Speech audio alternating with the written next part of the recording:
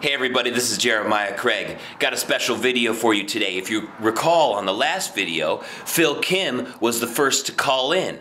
Well, we linked up after the fact and we had a Skype video call. So here is our conversation, part one, from that Skype video call where he's talking about his favorite brand of cowboy boots. If you want to hear our entire conversation, the link to the podcast, which is where the entire 30 minutes is, is in the description. Also, there's a part two of this video, and the link to that is in the description as well. I hope you enjoy our conversation. Thanks for watching. Here is me and Phil Kim. Hey, good to see you. You too. How are you? Great. Thanks for doing this. This is my first time actually uh, doing a Skype call and recording it and everything. So uh, yeah, I'm looking forward oh. to seeing seeing your boots and everything. Oh, do I see them now? Sure. Yeah. Okay. So what brands you got here? Uh, these ones right here, uh, the suede ones are Lucchese. Oh, damn. That's awesome, man. And these two here, these brown ones and these black ones, are from Alvies. That's the brand that you were talking about the other day.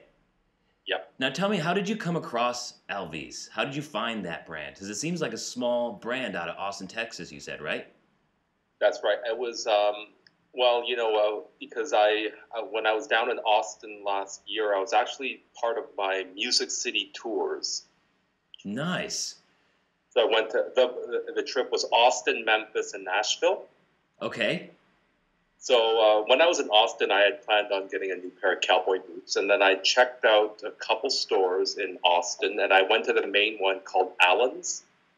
Right. It's very famous, um, but you know everything I tried on there is like seven, eight hundred dollars. So it's just like whoa. Wow. Jeez. Way above budget. Um, hold on, let me just turn on the fan way above my budget. So then I um, I just did a random Google search to see if there were any other stores, and then like you know what boot shops near me, uh, where the, at the hostel I was staying at, and Alvies came up, and I go, this is interesting. So I went onto their website, and they said that. Um, they're a sell direct to the public. They don't do retail. And then I saw their prices like 300 bucks. I said, wow, that's affordable. I could afford that.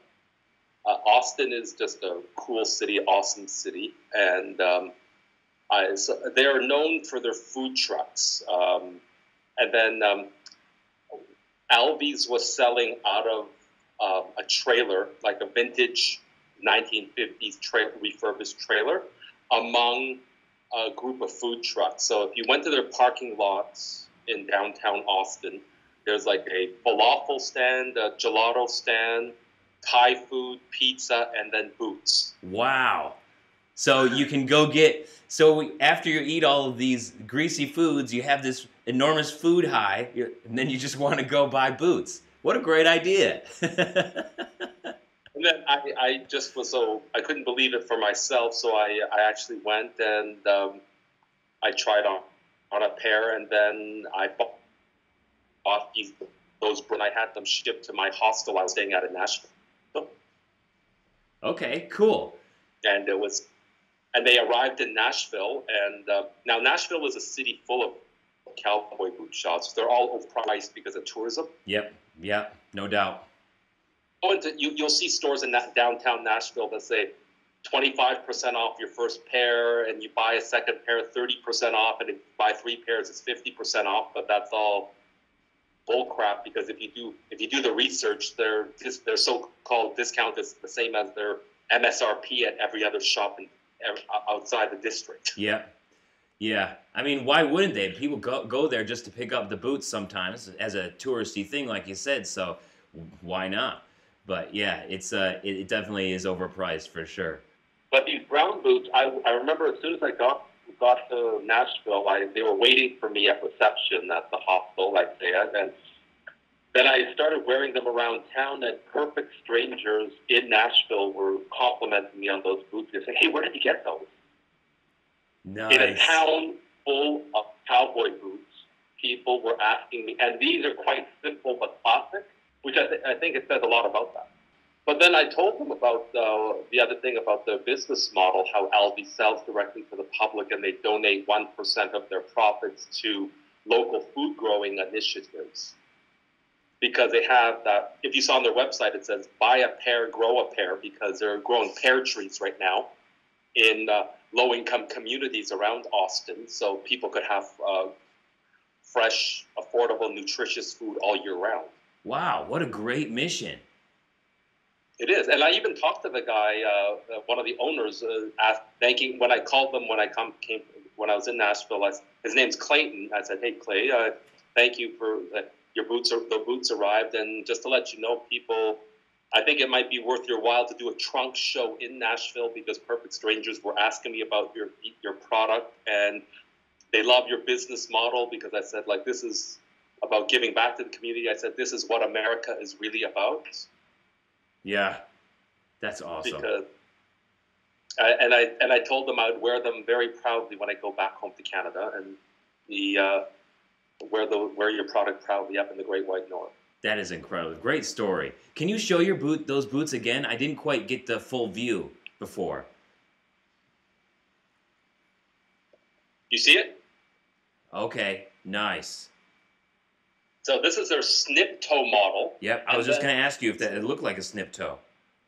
And this is more of a traditional, uh, slightly rounded, more uh, J toe.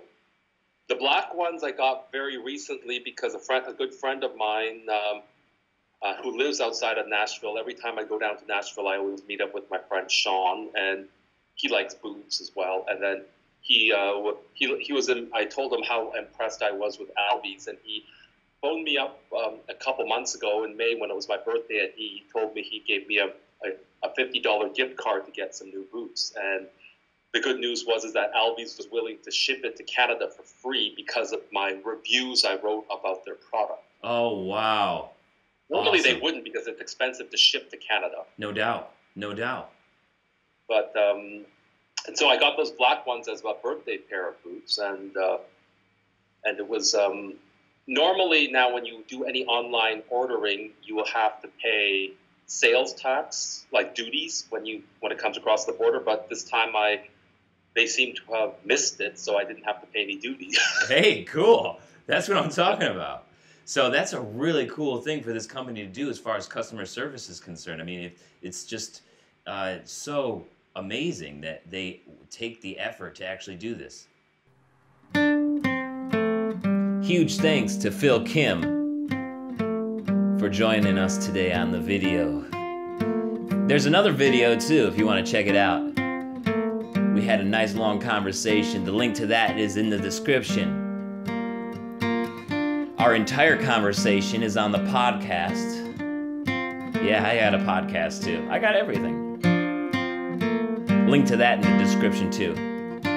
I really liked the part of the conversation where Phil was talking about the boot truck among all the food trucks in Austin. Yeah, almost like a ice cream truck or something like that. so here's a little theme. We got boots here. Yeah. We got cowboy boots here among the food trucks with the pizza and tacos and falafels. Fulfill your foot senses just like it did for your taste buds and nostrils, and get some cowboy boots today.